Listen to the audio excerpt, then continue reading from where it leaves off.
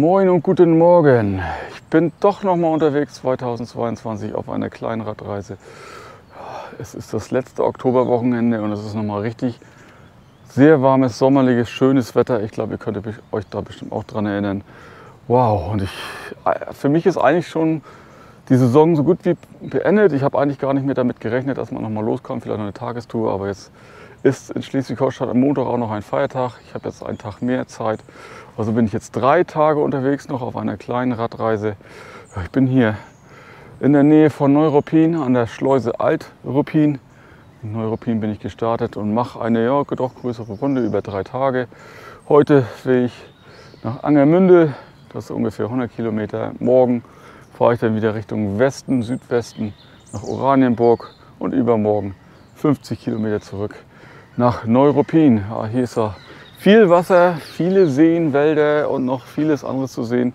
Ich habe eine selbst geplante Route mir zusammengestellt.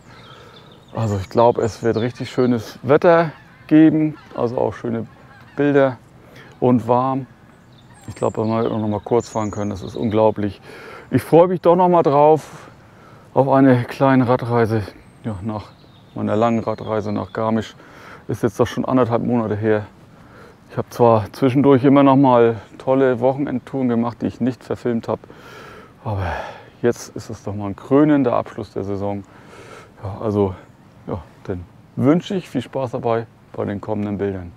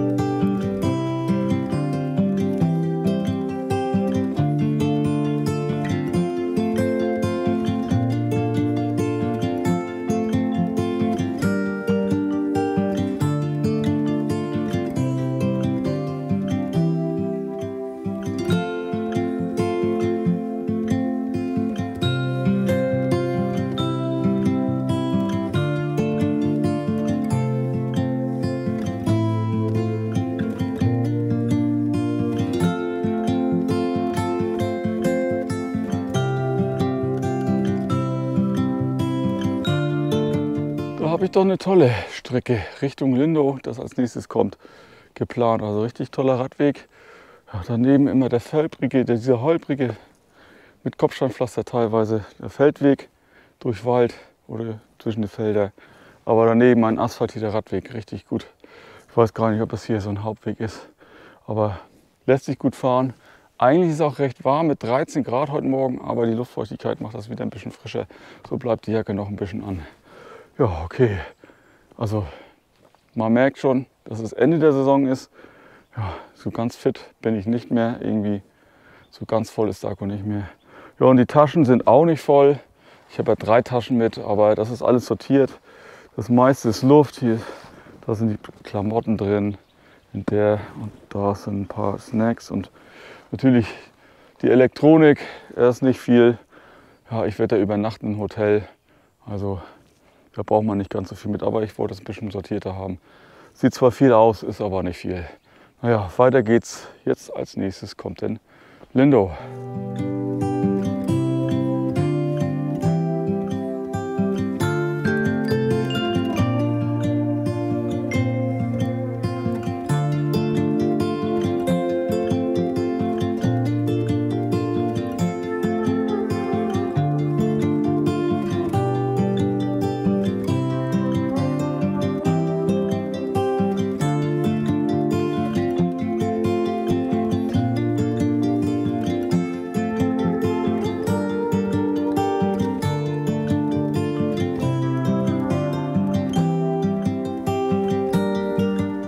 Bin ich hier in Lindow, hier an den schönen See. Richtig tolle Stimmung. Wow, der See riecht, liegt so richtig ruhig. Echt klasse. Wow, so richtig Badetemperatur hat das aber nicht mehr. 14 Grad, 13, 14 Grad höchstens noch. Aber ich muss dazu sagen, vor einer Woche war ich noch mal woanders in einem See baden. Es geht kurz, aber es belebt die Geister Aber lange geht es nicht. Aber wunderschön hier. Wow. Tolle Tour. Aber ich merke schon, es wird wärmer. Die Jacke muss jetzt aus. Die erste Zwiebelschicht kommt ab. Und als nächstes kommt ja, Zederneck. Ich glaube, ich heißt das. Das ist doch ein ganz schönes Stück jetzt. Ja, über ja, Felder durch und so kleine Ortschaften. Ein größeres Stück, bis das kommt. Ja, aber es ist einfach nur eine klasse Stimmung. Top-Wetter. 29. Oktober 2022. Eigentlich schon fast Sommer. Naja, weiter geht's.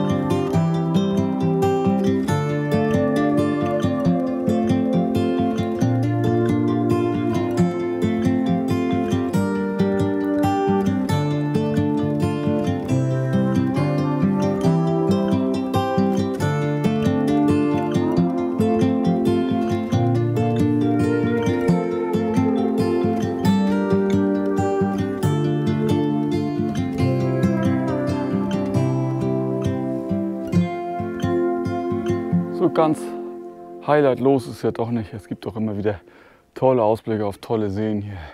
Und noch ein ganz, ganz bestimmtes Highlight ist jetzt genau hier, nämlich Schloss Meseberg.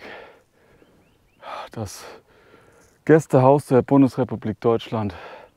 Ja, 2018 hat Angela Merkel auch Wladimir Putin hier empfangen. Ja, so ist die Zeit, so ändert sich Aber wunderschön. Richtig tolles Ding. Ich weiß gar nicht, ob ihr es sehen könnt gegen die Sonne. Aber es ist einfach nur klasse. Und jetzt ist es richtig warm.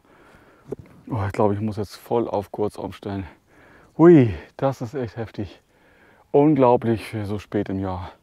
Naja, und hier ist der See, der ist so glasklar. Schade, dass er nicht so warm ist.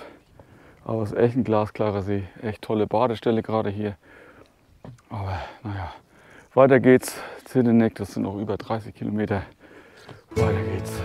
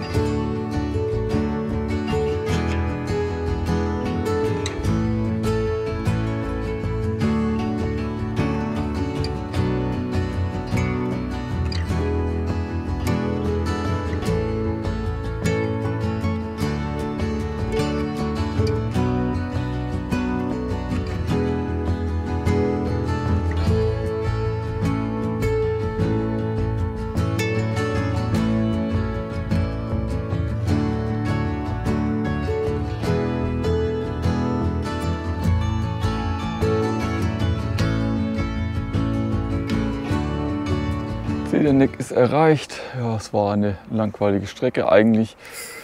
Viel geradeaus. Konnte mal ein bisschen Tempo machen. Jetzt ist gleich 12. Die Hälfte ist geschafft. Kilometer 52 bin ich jetzt. Zeit für eine Pause. Snackpause.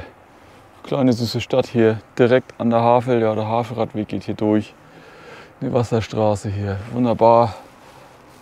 Mal sehen, wie es weitergeht. Der Havel werde ich nicht folgen. Oh, es geht weiter Richtung Osten. Ja, also erstmal Mahlzeit und dann geht es gleich wieder weiter. Wie ihr seht, habe die Jacke wieder an. Die Sonne ist weggegangen. Es ist kühler geworden. Ja, Sandalen habe ich auch wieder ausgekriegt. Ich stelle jetzt eine Jacke hier über, zumindest solange ich hier sitze.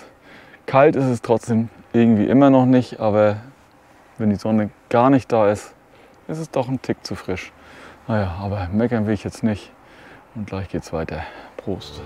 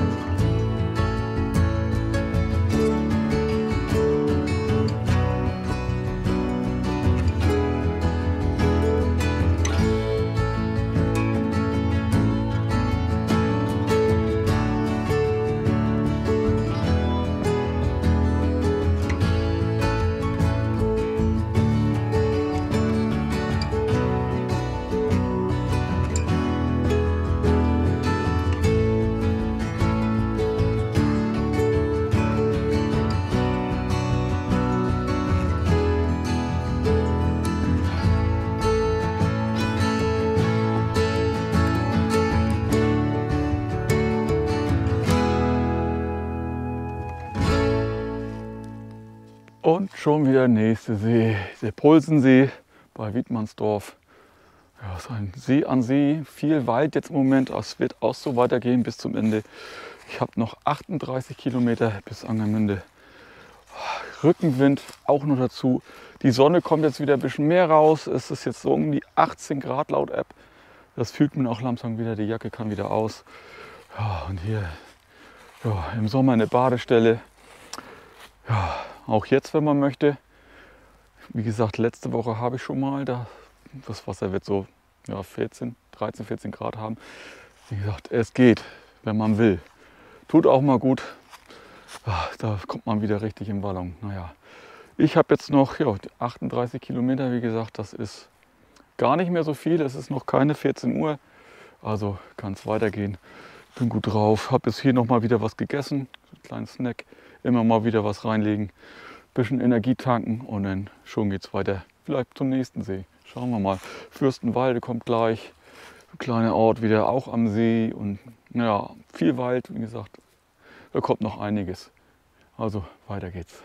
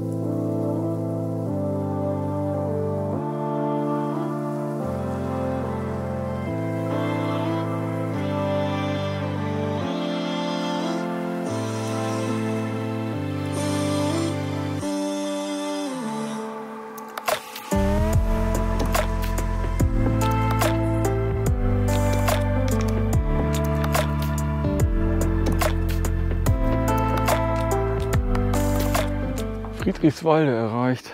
Hier bin ich aber nicht am Friedrichswalder See, das ist der Krummer See. Aber der Name tut egal, ist ja total egal. Ja, einfach nur herrlich. Ja, ist ein bisschen länglich der See, aber ja, im Sommer bestimmt. Hier nebenan ist so eine schöne Badestelle, ein schöner See zum Schwimmen. Aber jetzt ist er ja kalt. Das ist ganz komisches Wetter. Nördlich von mir sieht man ganz viel blauen Himmel. Genau hier ist jetzt die dicke Suppe wieder. Aber kalt ist es garantiert nicht. Also ich habe jetzt noch ja, 25 Kilometer ins Ziel. 14.30 also noch viel Zeit. Ja, heute ist ja noch Sommerzeit, da geht die Sonne um 17.40 Uhr unter, glaube ich. Ja, und morgen um 16.40 Uhr ist ein ganz anderes Hausnummer. Aber naja, ja, heute ist noch Sommerzeit. Die nutze ich nochmal und dann geht es jetzt weiter nach Angermünde.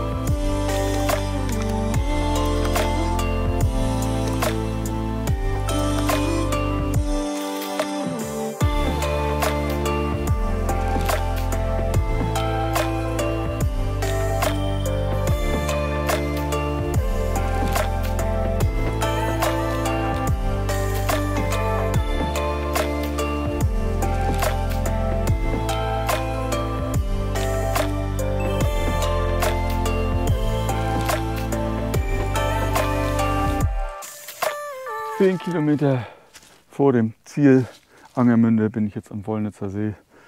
Richtig schönes, schöne Perle wieder hier. Ja, Sonne, ja, die kämpft sich ab und zu mal durch.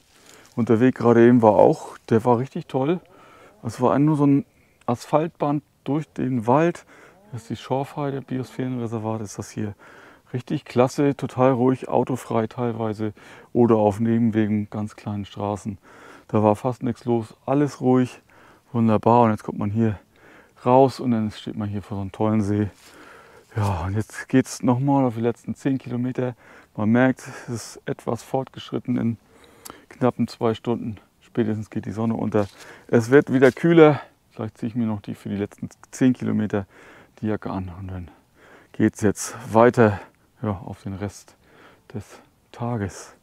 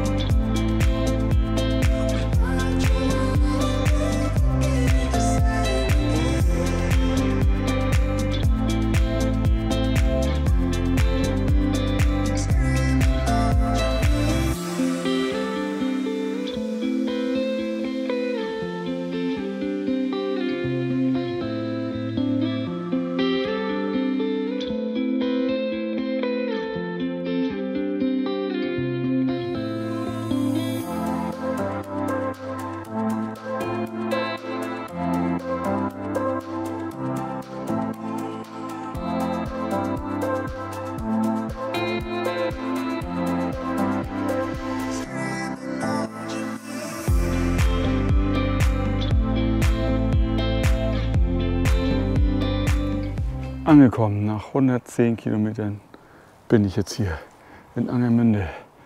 Ja, war eine ganz schöne Strecke. Boah, hat doch geschlaucht, ich merke das. Ui, es wird Zeit, dass es zu Ende ist. Ja, ich werde jetzt mal sehen, wo das Hotel ist, einchecken. Wahrscheinlich noch erst was essen, vielleicht noch die Stadt angucken. Mal sehen.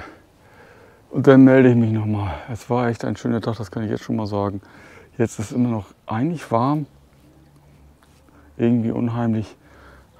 Aber ja, ich sag dann mal hier noch was. Vielleicht im Zimmer, vielleicht auch mal in der Stadt. Ich gucke das mal. Oh, bis gleich.